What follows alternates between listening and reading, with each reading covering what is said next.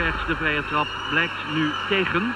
En het Feyenoord publiek reageert erop met uh, de bekende lichaamsdelen van honden.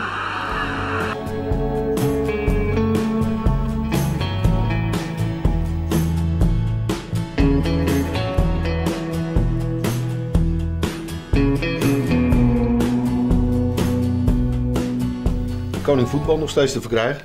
Het lemma Hiha Hondelul.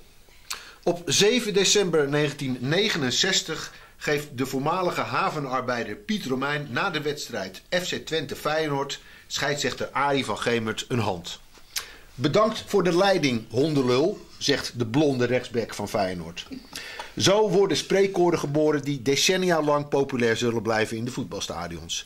Hiha hondelul en op de melodie van Tarara Boomdier, hij is een hondelul. Romein heeft het niet kunnen verkroppen dat FC Twente in de slotminuut gelijk maakt, 1-1, door een doelpunt van Theo Paalplats. Van Gemert neemt de zaak hoog op. Zijn hond is kort tevoren overleden. Alleen de Volkskrant schrijft het scheldwoord letterlijk op. Voor de tuchtcommissie van de KNVB verklaart Romein dat hij onbenul heeft gezegd. De KNVB trapt er niet in en geeft hem 350 gulden boete.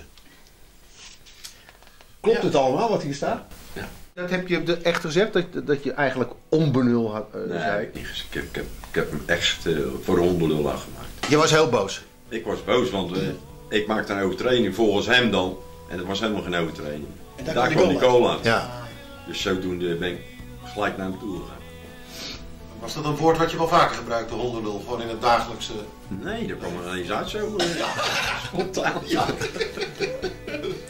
Ja, heb je hem wel eens ontmoet? Eh, Ja, na, na die tijd heb je ons nog met oud Feyenoord veel gefloten. en, en waar Het je was toen... heel, gewoon heel vriendelijk tegen. Oké, en heb je, ik ook toen... tegen hem. heb, heb je het toen nog over dit incident gehad? Nou, eigenlijk niet. Nee. Dus dit wordt de eerste keer eigenlijk. Nu wel, ja. Kijk, Dat vind ik toch wel leuk. nou, laten we gaan.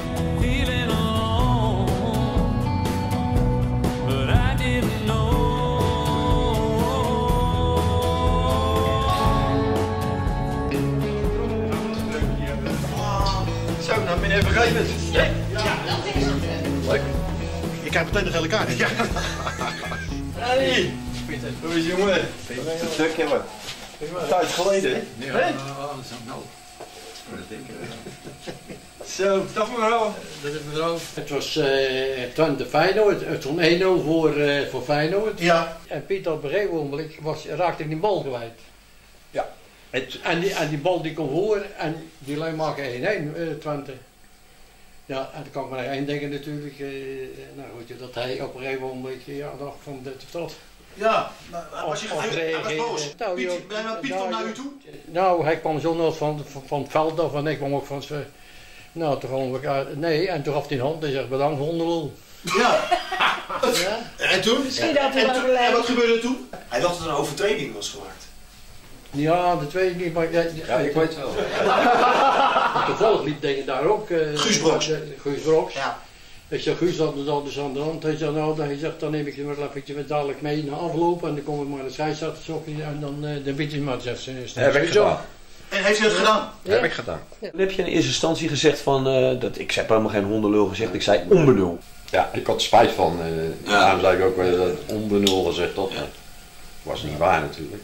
Nee, alleen de Volkskrant die gebruikte dat woord, maar andere, andere kranten schreven onwelvoegelijke taalgebruik of eh, dat woord werd niet opgeschreven.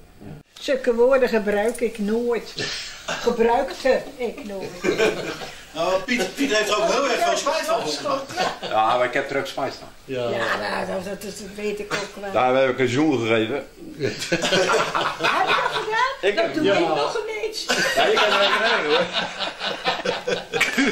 Ja. ja, wat je tegenwoordig hoort, dan gaan ze hem uitmaken van je moeder is een hoer. Hoe weet u dat nou? Ja, ja, ja. Ja, nou, dat is ook verschrikkelijk. Dat is erger dan dat ik gezegd heb. Ja, ja, nou, Vind dat zeker. Verschrikkelijk is dat. Hij is een hondenlul. Hij is een hondenlul.